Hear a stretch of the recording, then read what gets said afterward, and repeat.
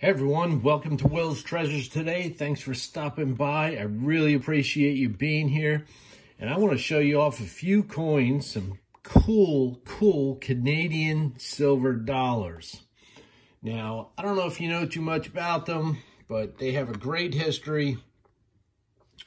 They're 80% silver and they're just beautiful coins, beautiful designs, and I'm glad to have them in my collection.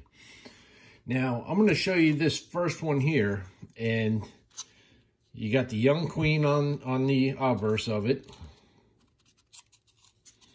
And on the back, this is a 1953.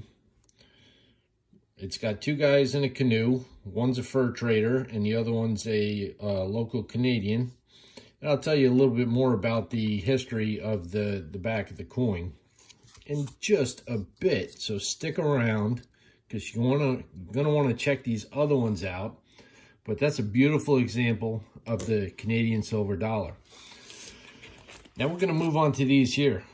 And you might wonder, why are they in this flip? Now, this is the Canadian, the way that they grade their coins. This is ICCS, the International Coin Certification Service.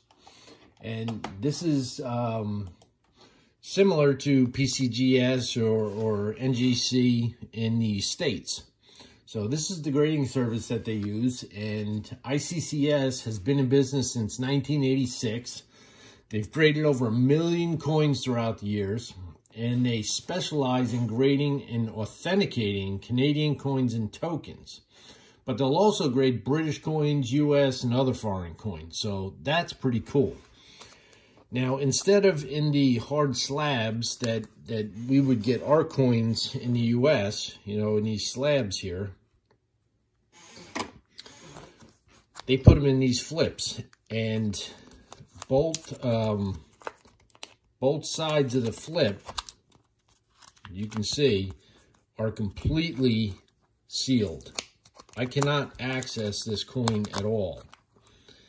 And that's the way they do it. They keep it completely sealed. And on the back, it tells you Canada, 1935, $1, and the grade, AU55. They also have a comment section. If there's, you know, if it was an error coin or something like that, they would they would put that in the comment section. They have a certification number. And then, in our opinion, this is a genuine original item. Tampering with this seal holder invalidates above opinion. Have holder replaced if inner package seal not intact. So kind of cool. It comes with it sealed on both sides.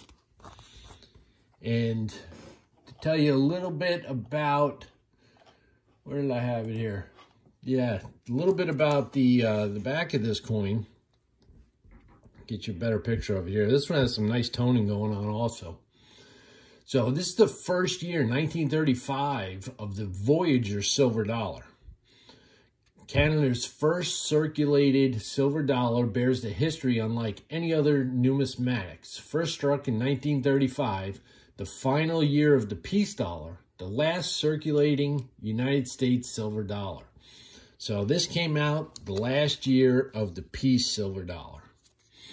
The Voyager dollar was commissioned in celebrating of King George V's Silver Jubilee or 25th year as king. So this is King George. The coin received its name from the iconic design of a pair of Voyagers, were one a fur trader and the other a native Canadian, guiding a canoe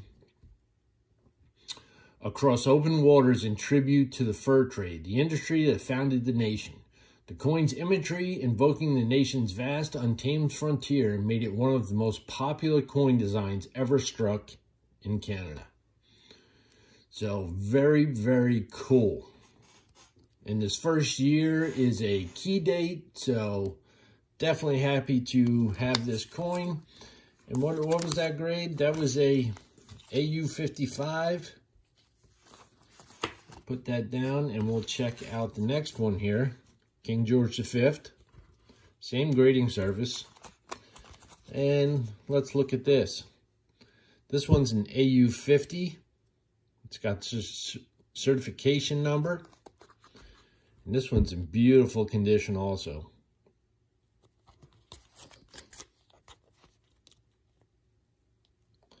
Look at that. Great details. And I don't know if you can see it through this flip, but you got the sun's rays coming down. Hard to see through this flip. But hopefully you can see it. The sun rays coming down on the two guys in the canoe. Beautiful, beautiful coin. And this last one is from BC Coin Mart. And this is also a certification uh, service up in Canada. And it's got the, the certification number. And on the back, it tells you this one's a 1936 and EF40. Same with the little comment section and then the, the little disclaimer, tampering with this holder invalidates above opinion. So kind of cool. And this one is also sealed, cannot access this coin at all. Same design, but in 1936. Second year it was minted. And King George V. So what, what do you like better? Do you like the king on their silver dollars or the queen? Put it down in the comments below which one you think is a better looking coin. They both have the same reverse. So put it down in the comments, the king or the queen. I'm not sure exactly what year they switched to the queen. I got to do a little more research, check that out. But two, what do I get? Four great coins to add to my collection. All Canadian silver dollars, 80%. Pretty damn sweet. And as always, if you guys want one of these channel stickers, hit me up. Email will be down below. Just send me an email, request one. I'll ship one out to you. So guys, thanks for watching today. This is Will from Will's Treasures, and I'll catch you guys on the next video.